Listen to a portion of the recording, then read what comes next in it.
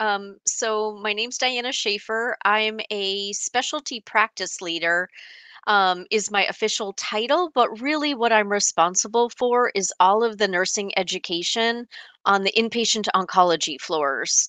And so I do a lot of the teaching in the day-to-day um, work on the floor, and I also coordinate with the outpatient clinic as well as um, the cell lab and coordinating cell products, including CAR T and stem cells, and writing policies and making sure that all of the nurses are um, really just comfortable giving all of these new therapies.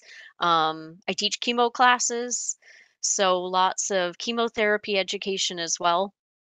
Um, but I've been at OHSU for 22 years now, and I spent most of my career um, on the floor as a bedside nurse and then transitioned into leadership um, six years now. So I've been doing um, more leader roles since then. But I love oncology. It's it's my it's my jam. Very good. Yeah. Wonderful. Thank you for joining us. So happy to, to have you join the team and welcome to the collaboration. And thank you, Richard, for, for bringing uh, Diana to our group. And so with that, uh, maybe the question again was to sort of ask, maybe I think what Richard was asking is what uh, are some of the needs, I guess, in Thailand to help Diana prepare for the trip in September? Is that right? Yeah. So I, I, I will talk on behalf of the nurses first, and then maybe uh, Kun Charansi may add some point, and uh, and uh, Kun Vanap, uh, Ajahn Vanapa can also add uh, some point. So I think uh, your experience, you, your knowledge at uh, OHSU is uh, very important, and will help us a lot in uh, you know get to to to to improve our nursing care for transplant and CAR T patients. So I think uh, Diana, you can, for example, for example, first give the general general information, general knowledge, and then give your uh, best experience based on your uh, realized experience on you know the inpatient uh, and outpatient taking care at your OS, and then for some problems. For example, uh, USD, some uh, or uh, infection uh, prevention and uh, treatment, something like that. Yeah. So I mean, in general, keep the uh, principle and uh, translate your experience for uh, special in special consideration for specific subjects, specific complications, specific points to us. Something like that. Yeah. คุณเจริญศรี anything to add คะคุณพลณี Chan, huh? Huh? and Diana, this is so so great of about your experience. And I will uh, clear the topic with Jenny and uh, will approve by Dr. Sulopon and will send you later. What do you got? Yeah, and again, I'll say that it's more than just CAR T. I mean, she's, you know, Diana's been probably at over between 150 and 200 CAR T infusions, but also the treatment of grade 4 GVHD. She's seen all of what we've done for the years. Um, as you say, infections and sepsis, you know, the guidelines for how you identify sepsis early, you know, and how you teach that. I mean, I think these are all opportunities.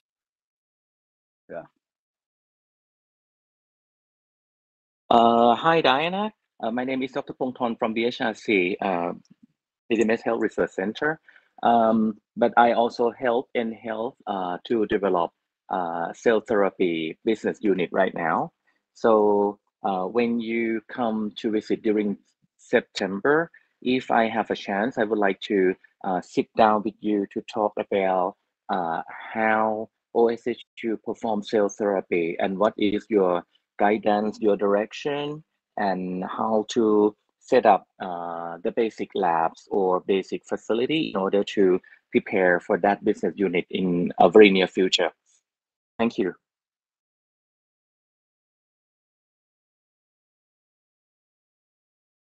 Anybody else?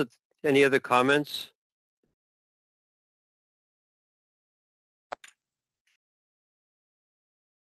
Okay. Well, should I try? Usually it fails when I try to like share, but let me just try and share. Um, otherwise, I think I sent it to Jenny. And do you see that? Oh, Justin, can people see the slides? Yes. See it. Yeah, yeah, I can see your slide. Wow, it's like the first time. No, well done. Good job. So I'm afraid to click the button to say from the beginning, but we'll just see what happens if I do that. But can you still see that? Yeah. Yes. Yes, sure. Okay, well then, what I was going to do is we were talking about, like for this visit, um, just got to get my, now I got to do my button next. Okay. Um, is we're planning, the part of it was the plan for the trip. The request was, is there any big updates from EBMT to discuss or are there other meetings? I thought I would add EHA, ASCO, ICML. Yeah, and then these other ones here is just are going to be part of future meetings that we talked about is how we um, set up metrics for quality improvement. You know, again, can we create a research proposal between our institutions? And also what will definitely be part of the discussion in um, um, in September is follow-up of strategic plans. But for this one, I don't know, I probably will have a lot of information and we'll never get through it all. So, but um, you guys will keep me honest for as far as the time goes. But what I, but and I, I, what I put together is I started to look at things I thought was important and I started downloading slides from the different meetings that were available to download and to put it together. Because even if I don't go through it all, you'll have it as a resource. But these are things that I think are practice changing that at least in the, what we have, we're going to be dealing with at the United States pretty soon, but it gives guidelines to what you may also want to consider, you know, going forth at your own site. First of all, one of the big ones, this was first, this was actually presented three months ago or four months ago and the tandem meeting, the ASTCT meeting. This was a late breaking abstract, so the data had just emerged for Karma 3, looking at ide-cel. Idecabtagene vicleucel is the product of that was formerly made by Bluebird. It's now marketed by BM, Bristol Myers Squibb in the United States. And it was approved for, you know, advanced myeloma beyond four lines of therapy. Uh, but what they're doing now for the first time is saying, can we do it earlier? And so this is testing ide-cel. Karma 3 is a randomized trial against um, using ide-cel early. So they recognize that triplet therapy is common. Um, quadruples are even now in the in our national guidelines. If you have high risk myeloma, they're even recommending four drug therapy up front, adding daratumumab to uh, you know a, tri- a basic triplet. But what's happening is more and more patients are being triple class exposed antibodies, uh, proteasome inhibitors, and um, IMiDs at a much earlier time point.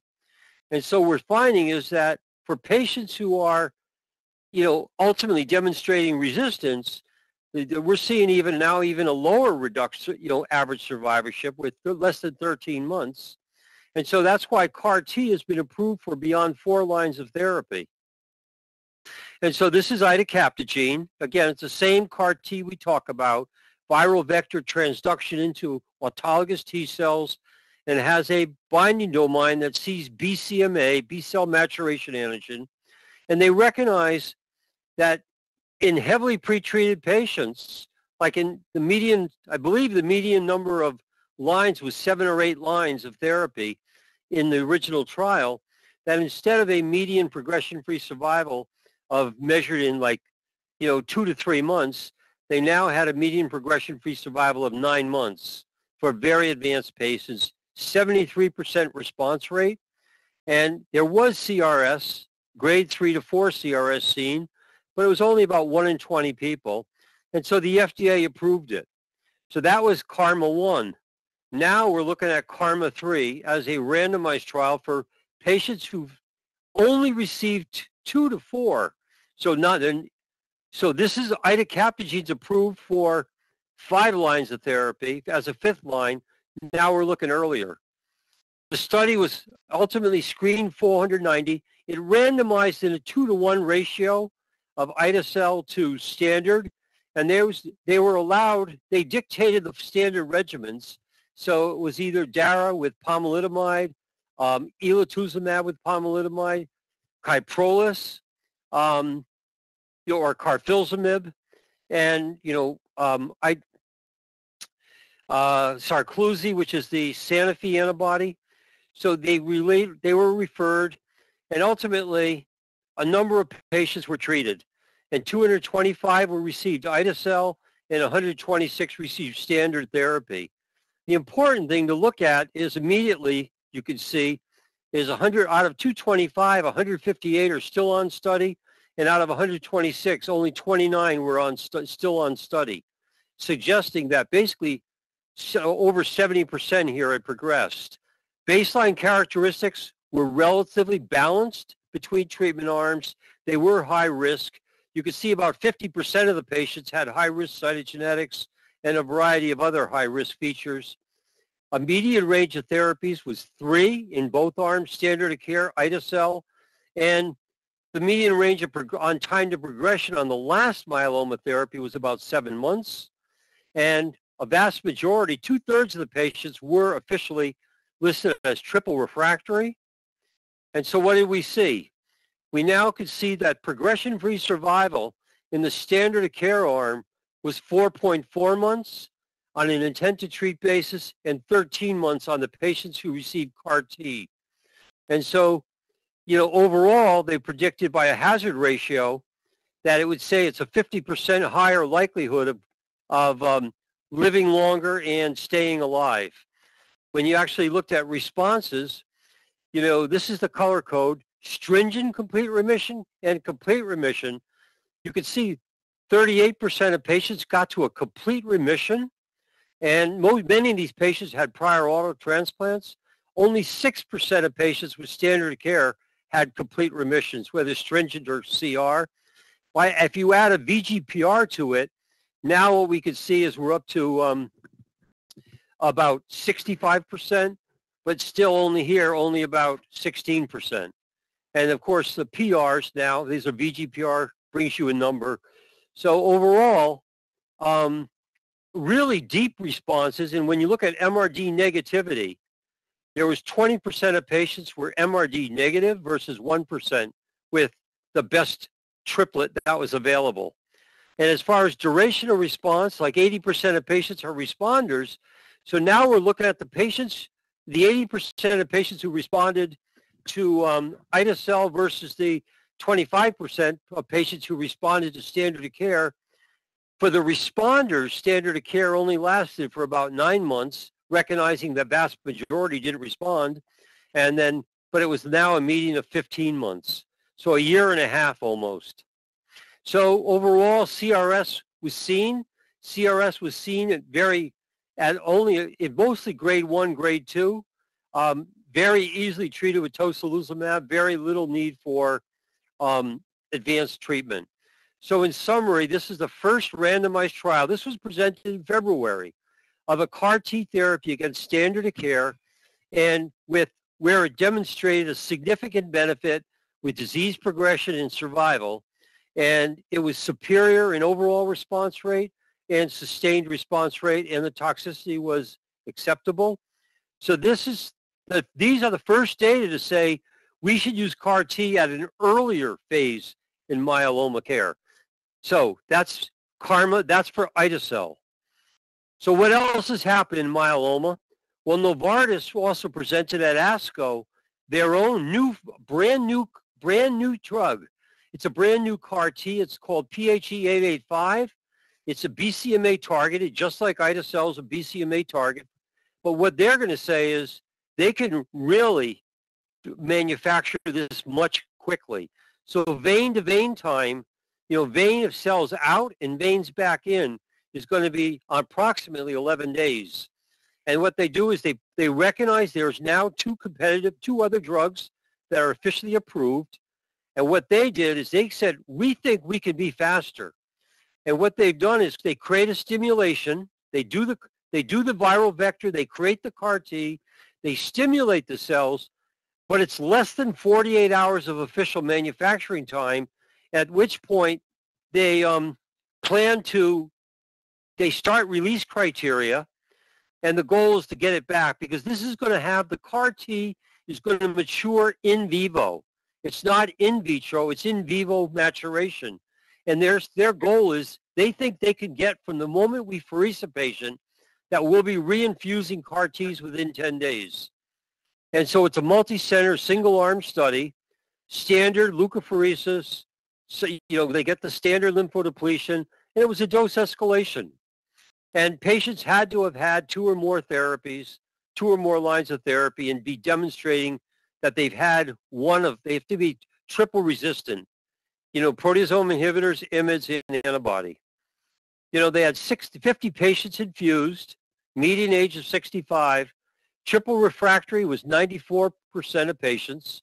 Uh-oh. Has everybody lost my slides?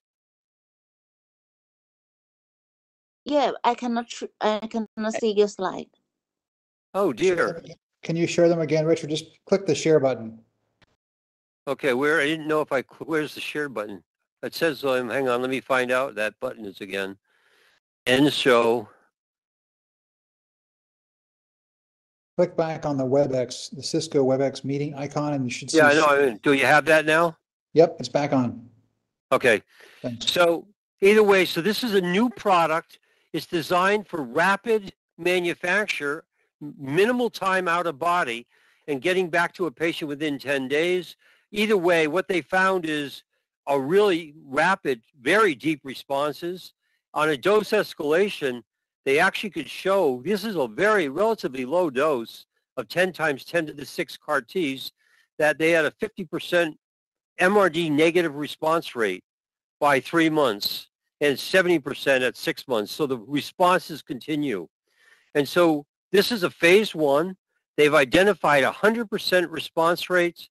There was no unexpected adverse events, you know, no other late neurotoxicity.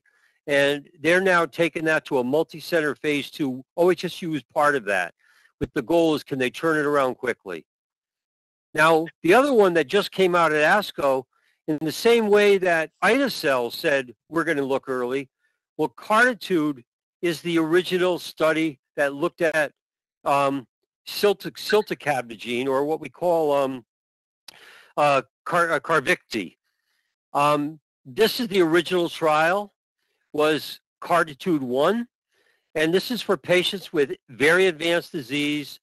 And what they're showing is that Cartitude 1 had a progression-free survival of 50 of basically over two years, about 50%, and an overall survival of 70%.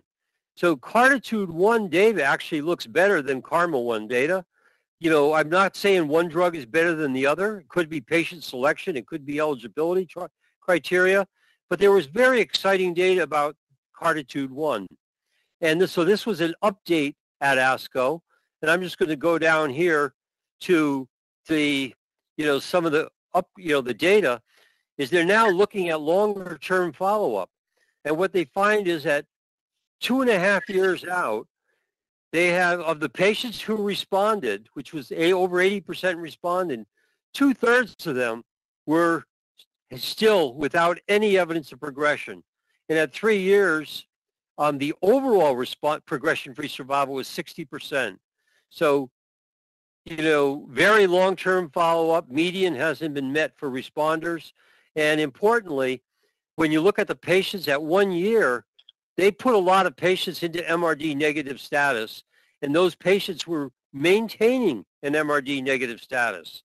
So the conclusions was that that Carvykti is the trade name or Cilta-cel um, is an effective agent with longer follow-up from the original trial that the median progression-free survival is approaching, you know, three years with an overall survival now at 60, over 60% at three years, and that many patients can become MRD. And they will continue to follow it up. Now, what also was presented at ASCO is Cartitude 4. So I showed you Karma 3. So they're doing the, the same thing with ciltacabtagene against standard of care for lenalidomide refractory myeloma. Um, so the goal here again is for is comparing only this case the if you were part on study you were only allowed to do two two regimens either pomalidomide Velcade or Dex or daratumumab pomalidomide and Dex and it was for patients who had basically had prior lenalidomide and so you could have had only failed one line of therapy. So you got your standard upfront, you know, VRD, then you got an auto transplant, then you're on lenalidomide, and on first relapse, you could have been eligible. So it's a much earlier application of CAR T. Very similar. It's going to randomize the patients to standard of care versus CAR T, and they're going to follow the patients on over time in both cohorts. Baseline characteristics, again, um, very ma- they're very matched. Um, and I will also point out this was also presented at, Ash, at ASCO as a late-breaking abstract and was published simultaneously in June in the New England Journal of Medicine. And so what was their what were their data?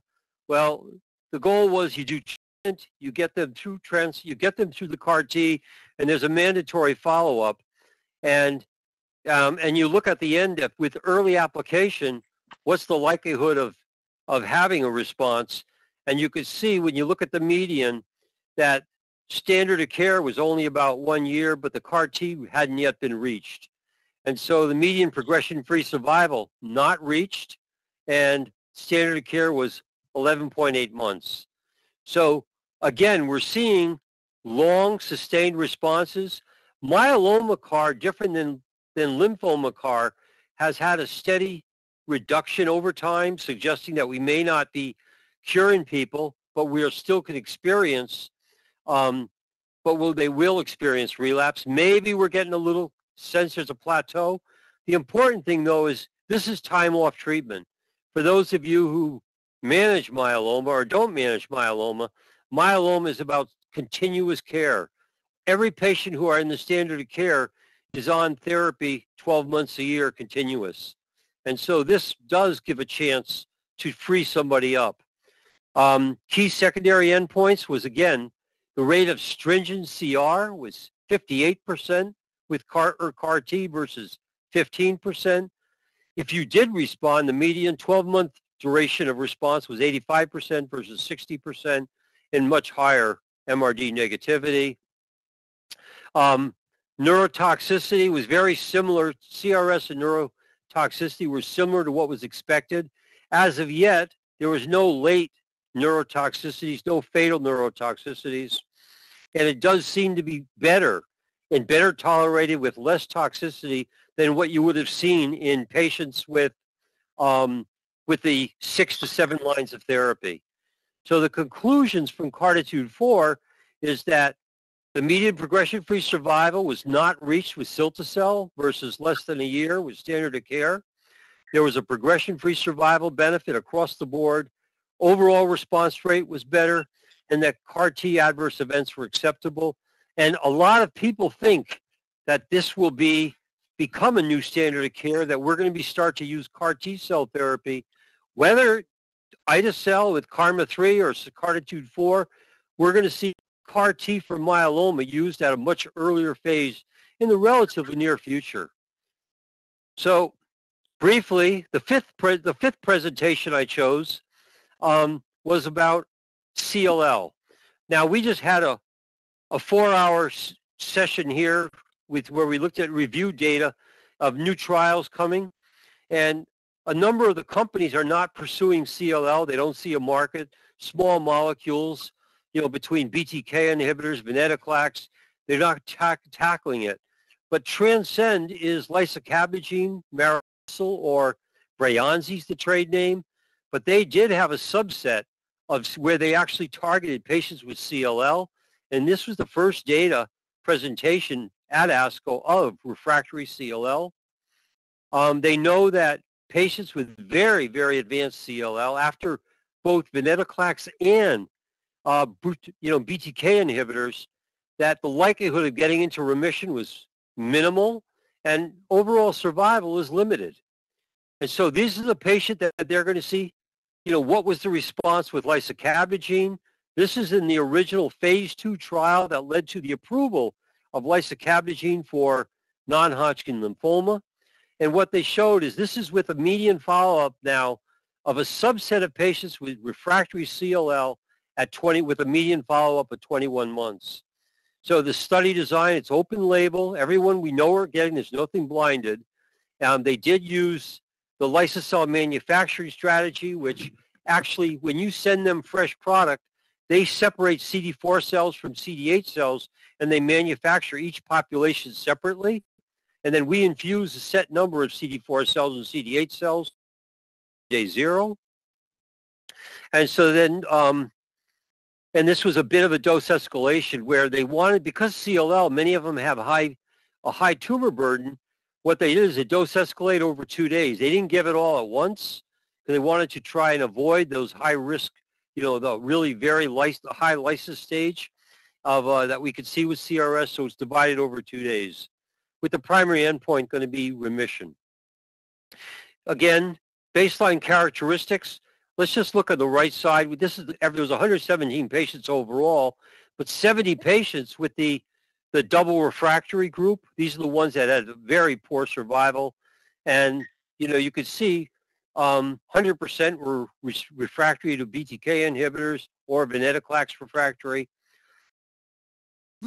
they were bridged to you know on the way to between the manufacturer collection. And so well, how is the efficacy? So these are very poor risk patients.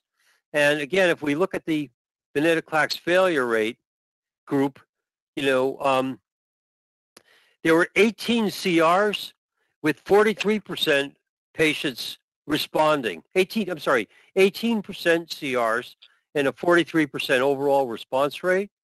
And in the blood, which is not necessarily bone marrow, but you're also getting a very deep, um, measurable, you know, um, unmeasurable disease. So you're getting very deep responses in the responding population.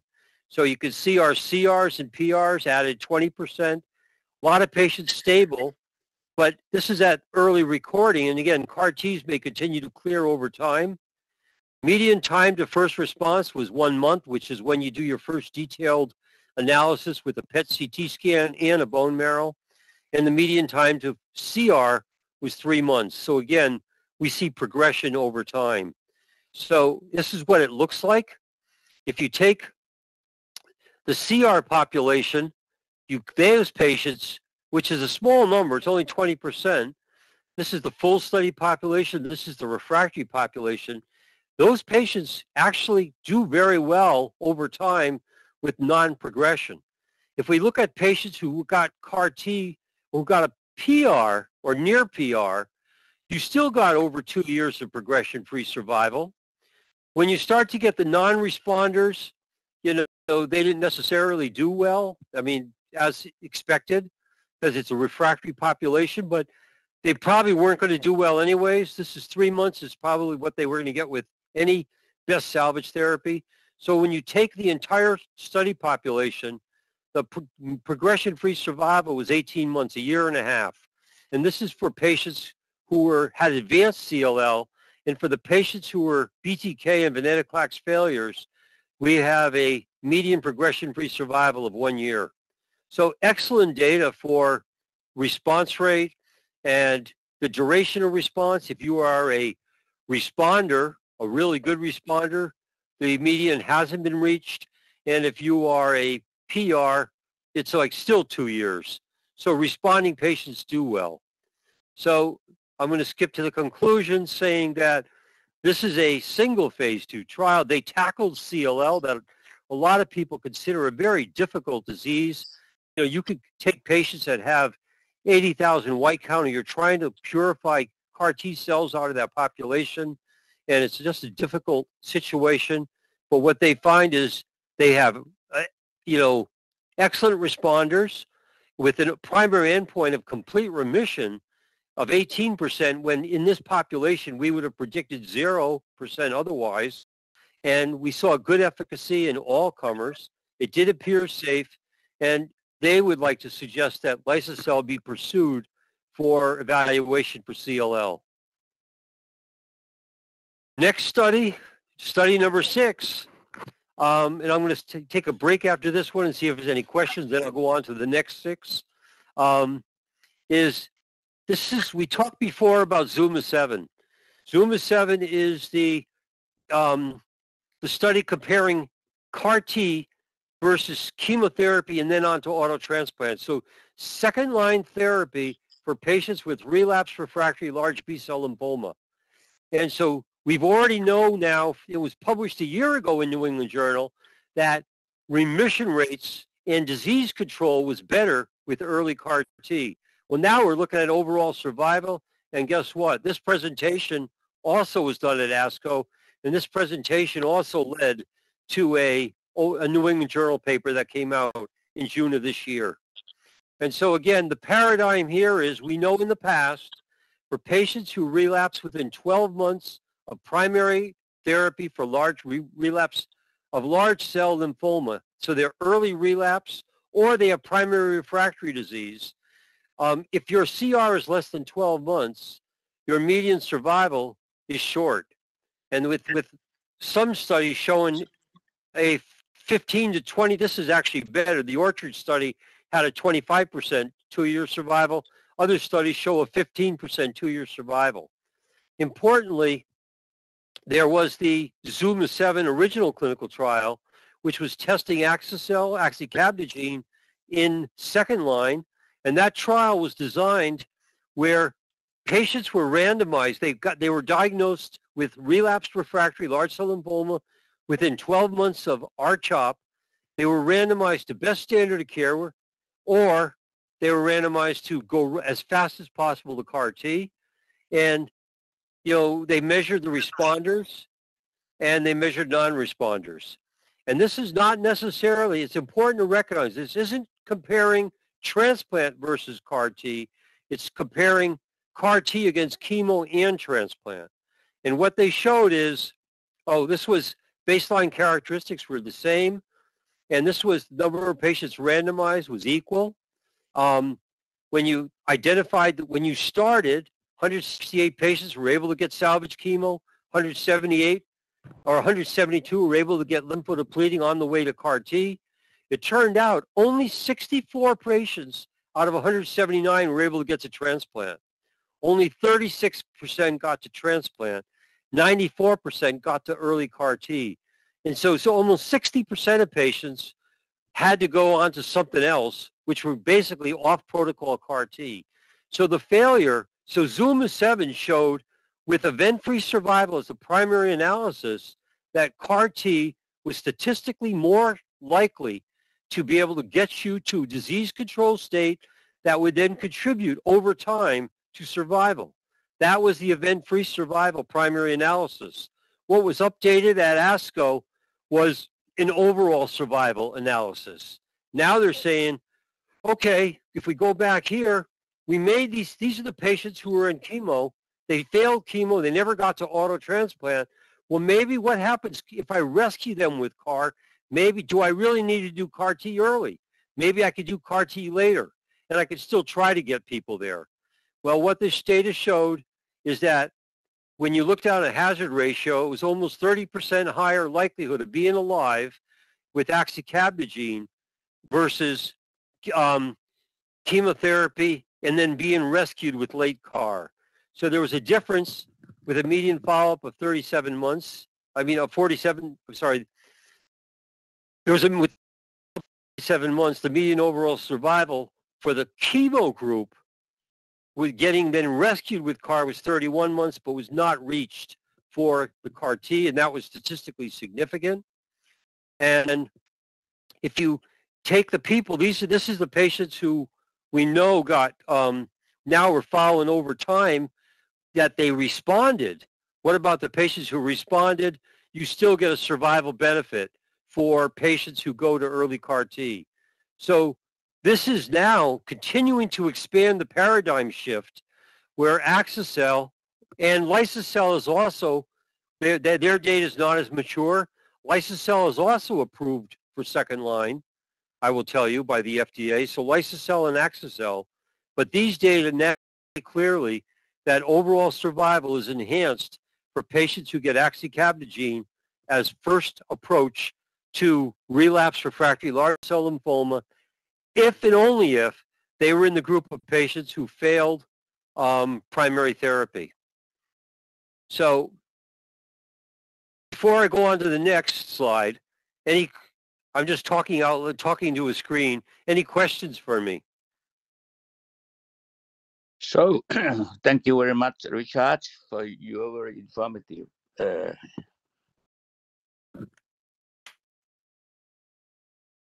I'm sorry, I, I, I can hear you. I was just saying, do you have any questions or should I just keep going? you, you, okay, uh, I think uh, in myeloma, you show that the the earlier you give uh, therapy, the better response we have. Yes. So uh, I think I and I that maybe uh, in the future we can use CAR T cell therapy instead of the autologous transplant, maybe for the high risk high risk myeloma in Yeah, I. I 100% agree. And there are there are trials right now going on where they're taking those like P53 myelomas, the 17 deletion myelomas, or the if you have two, you know, high risk abnormalities like a 14, 16, and a one chromosome one deletion, that they're actually looking at CAR T in first line. Mm, mm. So these are these are these are right now they're only research trials, but I think many of these trials are going to emerge, and we're going to Mm. have many. I think cellular immunotherapy is going to like, you know, continually be used earlier and earlier in the management of patients. Mhm. And uh, in patients who fail CAR T, CAR T therapy, uh, what is the next treatment? Yeah, that's a good question. I think right now, um, so a lot of people are now. The big question is about bispecific antibodies. Mm, And bispecific antibodies, it turns out for BCMA CARs, BC, bispecific CAR T, I mean, a bispecific antibody seems to worsen your benefit of your CAR T. But if you have a CAR T, a lot of people are using bispecific BCMA antibodies afterward, you know, with some good results. Importantly, there's another new target for CAR T for myeloma that's emerging. Um, it's the GPRC5D molecule. It's another myeloma mar- surface marker. Um, talquetamab is a bispecific antibody that targets the GPRC5D.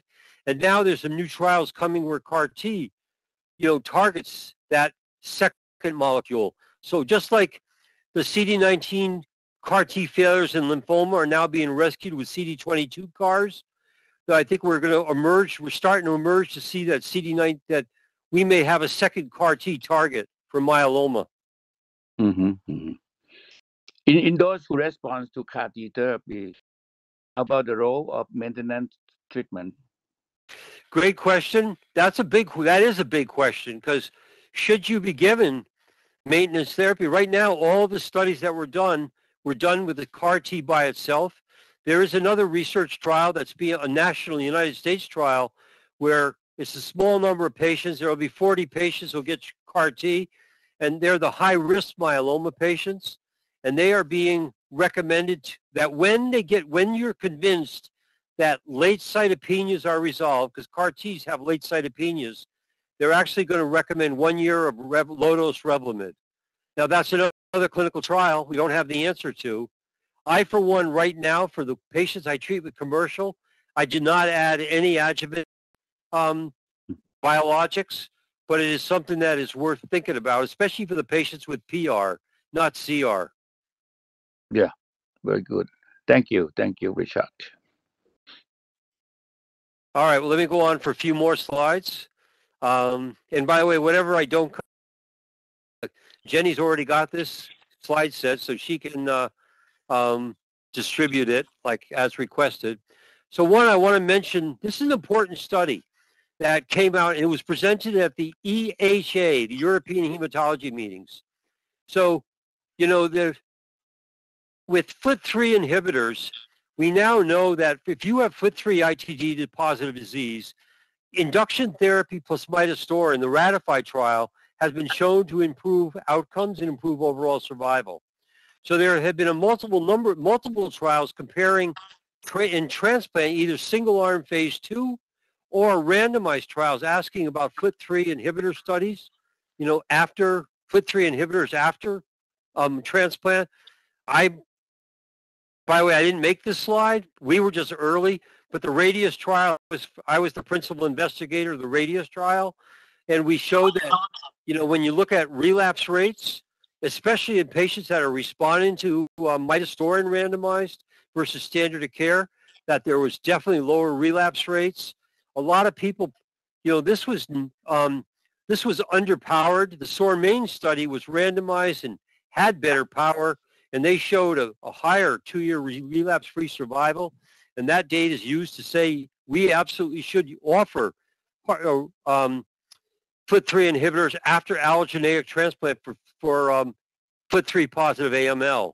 So we were part of Uni- United States was it was United States, Japan, uh, Canada, and I think one other country. I think was involved in a study, an, uh, an international study, um, called um, the Morpho study, which is using gilteritinib. Now, gilteritinib is a it's a much it's a much cleaner TKI than midostaurin or sorafenib. It is it's more selective. It does it's not as broad like sorafenib. There's six about sixty there's sixty different serine and threonine and tyrosine kinases that are inhibited by sorafenib. So this is a lot less. And so the question, and it's also better tolerated. Patients don't get nausea. They don't get sick like they do with sorafenib. And so this was a study randomized for patients who went to transplant after with FLT3 ITD specific disease, and after engraftment, they're randomized to placebo or 120 milligrams a day of, of gilteritinib for two years. Now, initially they thought this was going to everyone thought this was going to be a home run because this makes sense. It's a better drug in a lot of ways. Um, it's a more specific drug.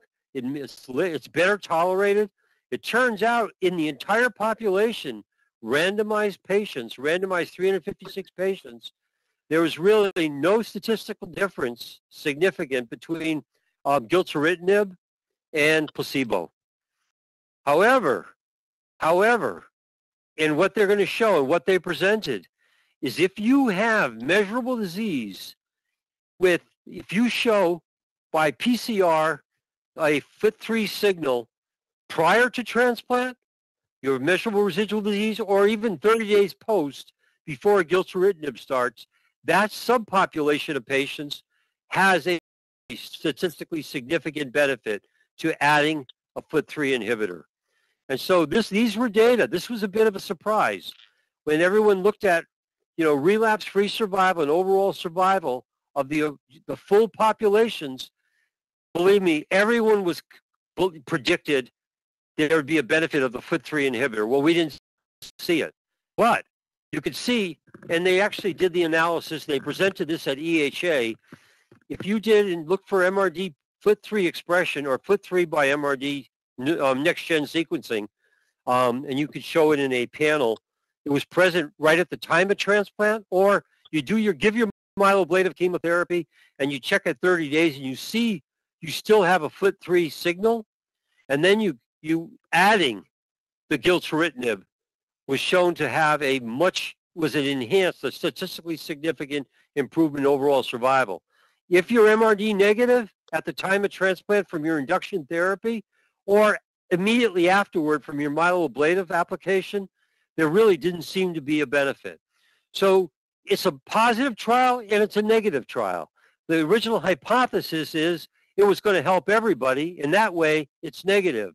But now it's very positive. It's, it's helping us refine our ability to know how to treat a patient. So these data were presented for the first time publicly at the EHA meeting. Uh, it's not yet been published, but they will be, that will be forthcoming. Now, something I got out of EBMT, and I just have a one slide thing.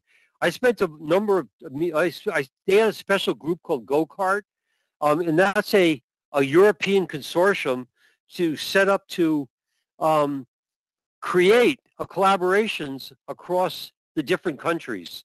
They used the EBMT as a registry analysis, but what they actually did is this was an interesting study. So what happens if you have advanced lymphoma? Well, we know allogeneic transplant it's been shown previously that even refractory large cell lymphoma in third line or fourth line, there is an allogeneic benefit and some patients can be cured. And what they showed then, analysis, this is retrospective, and they thought the patients were balanced. They went through the entire EBMT registry. And what they asked is, how many patients with refractory lymphoma went to allo how many patients went to CAR T. They looked and they declared that the populations were balanced for risk, except it was a younger patient population referred for allo and an older patient population was referred for AUT for CAR T. What they showed is non-relapse mortality was increased with allo, you know, graft versus host disease, infection, organ toxicity. The relapse rate was lower than CAR T with allo, but overall, the contribution, there was a slight de- decrease, not statistically significant, a slight decrease in overall survival in the allo patients. Now that was looking at all comers. They did a propensity matching, which which they basically picked the highest risk patients, and they say I'm going to pick three risk factors or four risk factors, and I'm going to do a propensity score. I'm going to match those four risk factors in the group that got allo and those four risk factors in the group that got mm-hmm. CAR. And what they showed is if you had a high IPI patient, you know, International Prognostic Index, CAR and allo were identical. If you had a low IPI patient with multiple relapse, CAR was better than allo. And overall, the relapse rates were higher with CAR T. But over, so you, you may be sitting back saying, I can be very selective in how I um, would propose. For me, I've actually been thinking about this, which is what we ought to start doing is we talked about research trials is right now we're trying to think, well, what do we do for CAR T failure after allo? And we're using, you know, we're using bispecifics, we're using immune conjugates. Nobody's really saying, well, let's go back to allo. And I think it's time to propose a prospective allogeneic transplant study, multi-center to collect CAR T failure. Um, another, what time is it? 551. So this is, you know, number, this is slide 64 of 95. So I'm doing pretty good to get through 64 slides so far. And uh, I, I have one question before we wrap, wrap up for, uh, keep going, but there was a question that Jenny had sent around asking about some lecture material by email. I think you've already answered the question about flights. I saw the flights had come by, but there was an issue about chosen lectures. So, uh, Dr. Surapol and Wanapa and Jenny, do you have answers to your questions right now for, on this call for, uh, for the team? I, I, I think Dr. Wanapa, Dr. Wanapa already, uh, you know, answered your question. Okay, so you guys feel comfortable with the lecture content for the team ahead of time? Yeah. Yeah, Yeah. so so I think the question was in the days of the you know we're going to have the shared you know shared presentations where um your team is going to show some le- give some lectures and our team is going to give lectures. They were asking, I think we were asked for what our titles would be. Yes. And, you know, and I'd say I haven't decided yet. I've given a number of lectures and I've, you know, these are lectures, but I want to try and make something special. And, um, you know, I'm actually thinking of, I'm thinking of something. Um, but I think that's what, you know, Diana was asking and she's going to but between us, Diana, Anita, and I, we will come up and send a what we think will be our, you know, our guidelines, our proposed lectures. I'm actually thinking about one which is the history of GVHD therapy. Like, how did we get to what we are now? Because, you know, Dr. Surapol and myself are probably, we remember some of the old days before calcineurin inhibitors. Right. And where were we and how far have we come and all, how much have we tried? A lot of the young folk don't really know what we know about graft versus host. And I thought a history of GVHD therapy might be, was, was, is the thing that I was thinking about, but we'll do, we will come together with plans. Good. Okay, thank you very much. And Jenny and Wanapa, let us know if we're missing anything while we have Diana and, uh, and Dr. Richard on the, uh, on the call. I think we are fine now. Um, anyway, just let I will wait for Dr. Surapol to do the final confirm, and then I should be able to send the agenda over to you guys to do, do double confirm. Okay, super. Okay. Thank you very much. Good, good. And Thank you, Diana, for joining the call. Well, I have six minutes left. What I can do is I just think this is, I know that, the- I just want to, I, I just, I want to get this out just because I think it's a very interesting study. And I know that this is a question that um, the group at BDMS or the group in Thailand is, is thinking about. What is, how good is allotran, how good is CAR T for relapse refractory ALL? Mm, And for adults, not for kids. mm, And so Zoom, Zuma 3 is brexucabtagene, um, which is the uh, product from Kite Gilead, which targets ALL. The difference between uh, brexucabtagene autoleucel and axicabtagene is the same construct, but they will say they have a proprietary step that when the when they get the cells sent to them, that maybe it's maybe it's a depletion step, but something is done to the product before they start manufacturing CAR T. Um, but they have not, that's a company proprietary, they have not disclosed it. So when we look retrospective, when we look at the old data for phase three for brexu-cel, and by the way, this also led to FDA approved um, the treatment of adult patients with ALL. There were 55 patients treated and from many, many centers. So in, in the data, I'm sorry, it was 55 patients treated with very good outcomes, um, 70, 80% response rate. So where we are now is this is a real, what was presented at ASCO is a real world look. Now we're going to have outside of the clinical trial, you know, what is, what are we seeing in adult ALL? And you can see OHSU is part of that real world analysis. Dr. Just Leonard was one member of my team members. And so this is a retrospective study. It's going to be enrolling people and they're collecting data through the CIBMTR. And this is for patients not on trial, but who received commercial um, and it is for adults and above. And when you look at the patients, there were 76 patients. The median age was 44. Um, a little, about close to 50-50 female to male. The Philadelphia negative population was 70%, 30% was Philadelphia positive. 50% of the patients had prior blinatumomab. For 40% had prior inotuzumab. That's a bispecific antibody and an immune conjugate. And nearly 50% had a prior transplant. Importantly, 70% of patients had active disease at the time of collection. And for patients who were in remission, there was only 12% of patients were MRD negative. So what did we see out of this population? Most of them had active disease. Um, this is a toxicity. A lot of CRS. Um, 83% of patients had CRS, most of it grade one or two. 60% had ICANS. You know, here we see more advanced ICANS in the patients with ALL. If I look at response rates, though, again, only 10% of patients were CR. Now we're seeing 90% of patients were CR at day 30 with 54% MRD negative, including patients who had had active CNS at the time of treatment. Um, when you look at duration of remission, at six months, patients who were MRD negative were 70, you know, they had a good chance So you're 180 days out, you test them. If they're MRD negative, they may remain free of disease, but if they're MRD positive, they're probably going to relapse and have a high relapse. They may need to, they may need something. If you ask for the patients who were in remission, um, who got no therapy, all comers, you can see that 60% of patients um, were stayed in remission. But patients, there were patients, they said, we better do a transplant on them.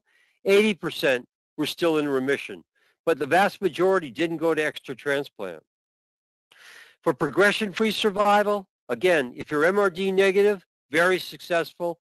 If you're MRD positive after treat at six months, still a good percent of patients are going to relapse, but you can rescue them. If you never really had responsive disease, a good chance that you're not going to be, the disease isn't going to be controlled and you're not going to be alive. And that's what that shows.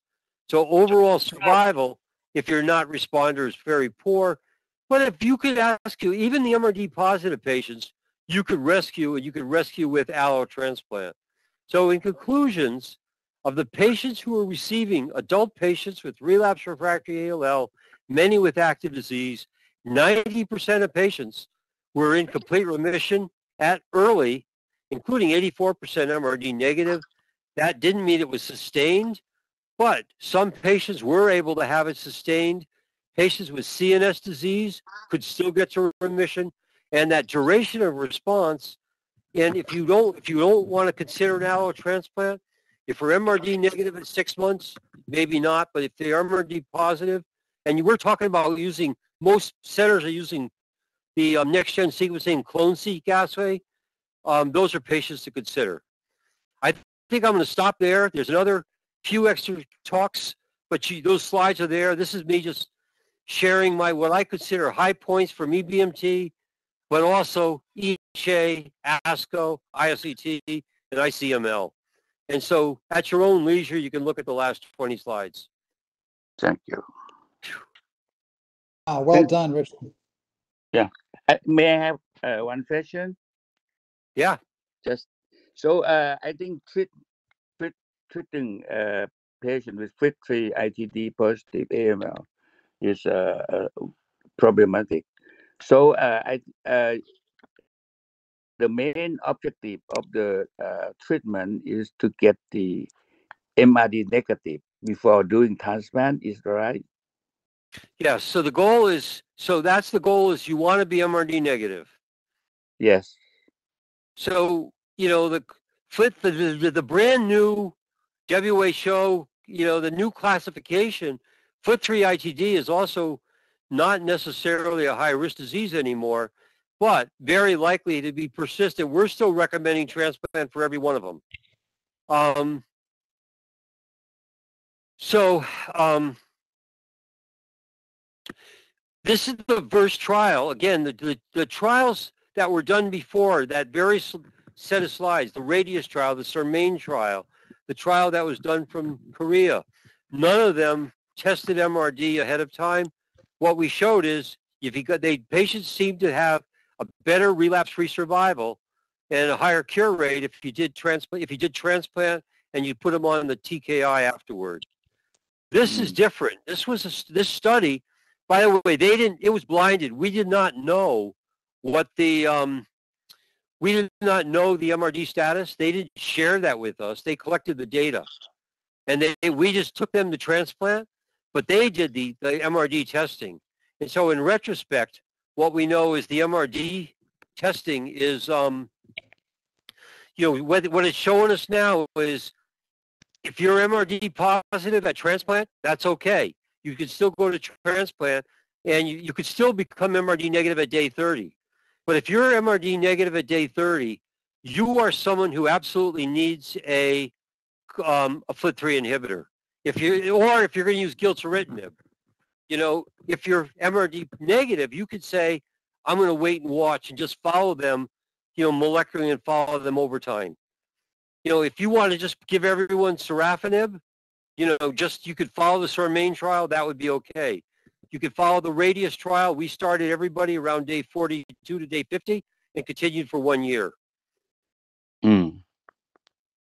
Do you think now? Yeah, we use one year because the reason, so the difference, so the trial, the, the, um, the Morpho trial and the SORMAIN trial recommended two years. The Radius trial recommended one year because at the end of the day, most AML, 80% of all AML relapses in the first year. And also FLT3 ITD positive disease tends to relapse even earlier. Many of it relapses by day 120. So for me, if I'm give one year of maintenance as adjuvant, um, and there's no relapse, I'm fine with, I'm personally fine with stopping. It saves a year of therapy. It also saves $250,000 to $300,000 of American money. I know. so I've got to sign off. A quick question. Uh, Richard, could you make sure Dr. Nemechek works on her flights ASAP? We don't have her flights yet. Yeah, I promise I will. I saw that. I just showed that up in the chat. I saw the notes and I will call her tomorrow. She, I Thank you, talked to her Thank you. last weekend and Okay, she already had Kim's number and was going to talk to Kim. So I thought she was working on it, but I, I thought it would have been done by now, but I will reach out to her tomorrow. All right, thanks, everyone. Great to see you all. Great job again, and be well. We'll see you soon. thank you. Thank you very much. Bye bye. Thanks, Diana. All right, thanks, everybody. I look, and I look Thank you. forward to See seeing you. you all again in person. Yeah. Excellent. Yeah, September. sure. Thank you. Up and clap.